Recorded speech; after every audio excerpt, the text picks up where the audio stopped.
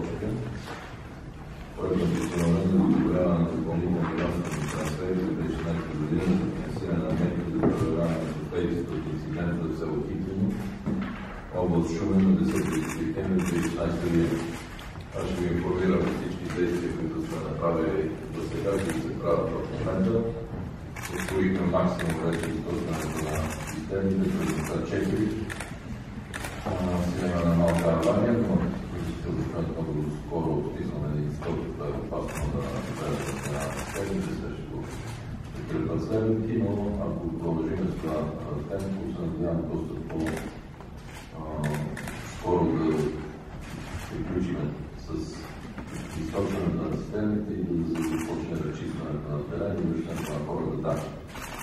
Така че малко по-оптимистъм в сферата на културите и Повтарям, все пак стараме да не пресираме човеките и хората, които участват в това, защото е дискриминация.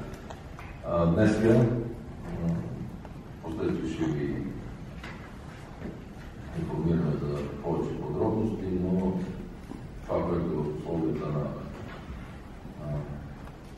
населено място без хора, тъй като принудително като собствено желание излязоха, разбира се, но трябваше да ги евакуираме хората от Хитрино. В момента с неговите помощници е сумял да направи. Сега е една среща и с председателя на МПС, който беше с нас в тези дни. И горе сме се спрели на това, което ни подават експертите от там. За на две места по 5 милиона, още 10 милиона лева. 5 милиона още днес ще бъдат сметката на да говоря кмета с Общинския съвет да започнат да имат такива пари при първата възможност, която се определя, че да се спазва, да започнат действията по разчистване и по. И другите 5 милиона отиват в социалното министерство. Веднага защо ви обяснявам? Защото момента по закон, вие повече, вие добре го знаете, но медиите да знаят и българските граждани, много от дейностите, които трябва да направим, няма право да ги направим.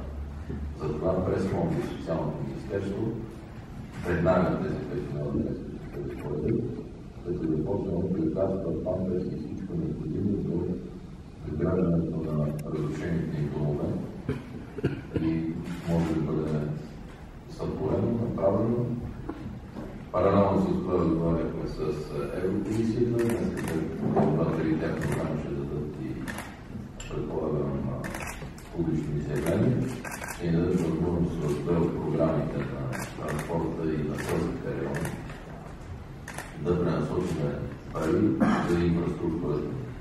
Така че всичко, което има като поражение по чек пазари, линии и така нататък, да го направим с европейски пари.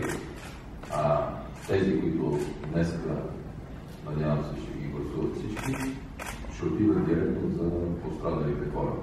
Включително за тези деца, които са безродители, за всяка една нужда, която има да се посрещне. И това го правим, защото така подпомагаме кмета и Общинския съвет да могат бързо и гъвкаво през социалното министерство да направят тези разходи.